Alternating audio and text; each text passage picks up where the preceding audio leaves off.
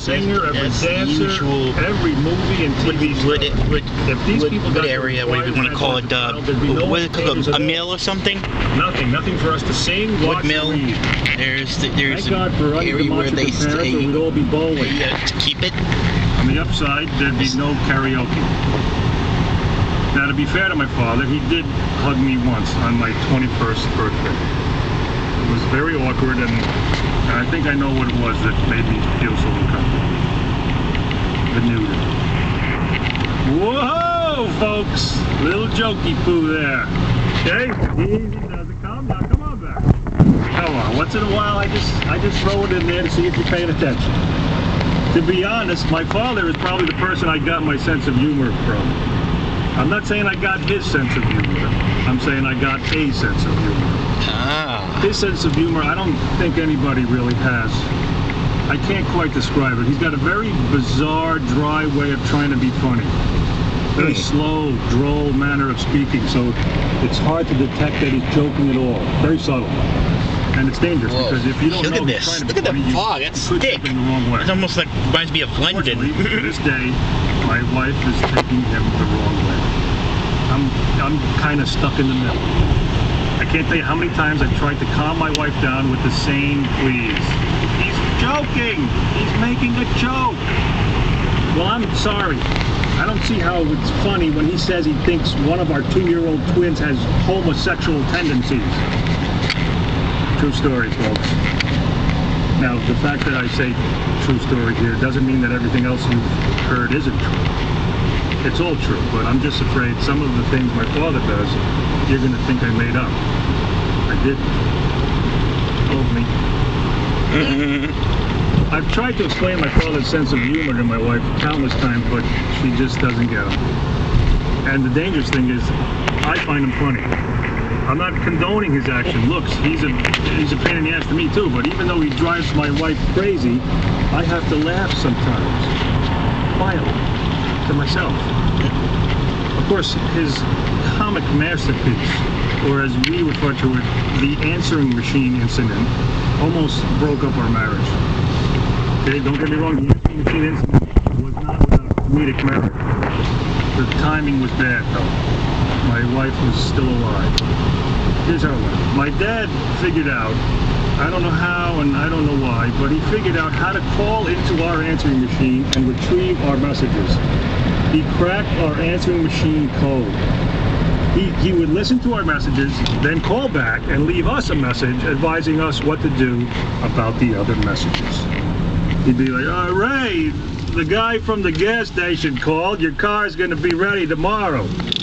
What'd you do to it? I told you to check the oil, you dummy.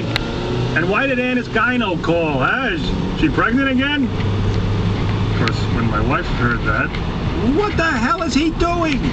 That's like reading our mail, Ray. Don't tell me you think this is funny. I, I thought it was kind of funny. I talked her down and she got over it and life returned to normal. Until the next day, when my father figured out how to change our outgoing message. My wife and I were at a friend's house. We called our machine. Instead of hearing my voice on the outgoing message, we heard my father's. Uh, hi, you've reached Ray and Anna. If you want them, leave a message at the beep. If you want me, Al Romano, I'm at 555-2006.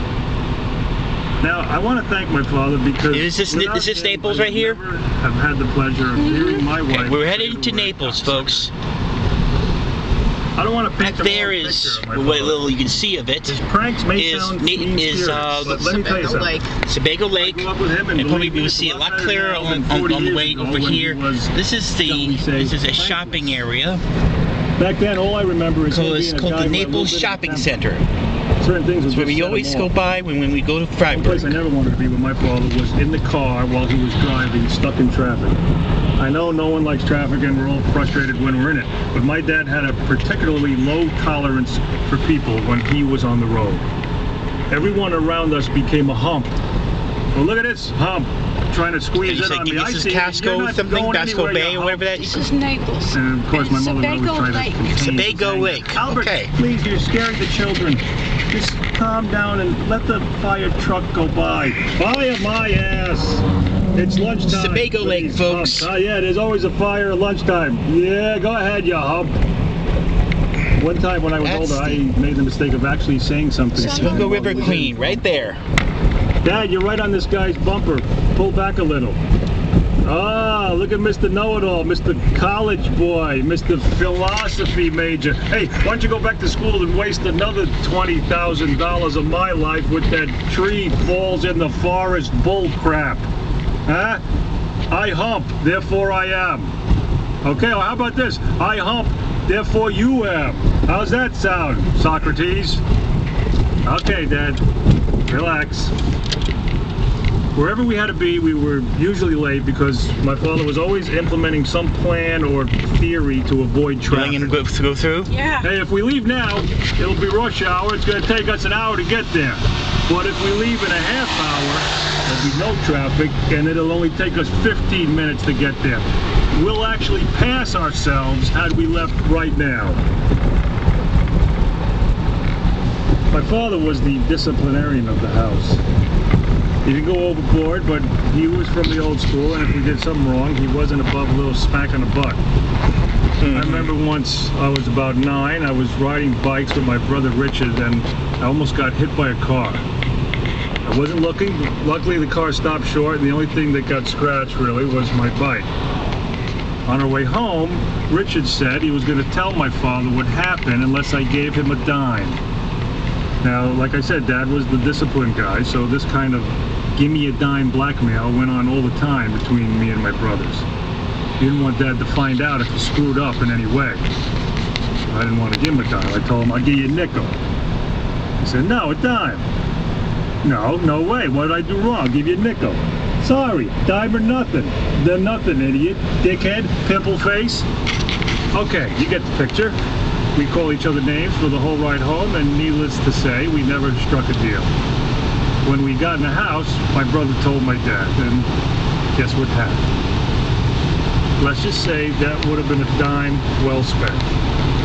Now, on its face, there seems to be no logic getting a spanking for almost being hit by a car. What was my dad thinking? Thank God you're not hurt, so I can hurt you. But now that I'm a parent, I understand where that comes from. When your kids do something careless that puts them in danger, it scares you so much, you want to teach them a lesson so they'll never do it again. The weird part is, if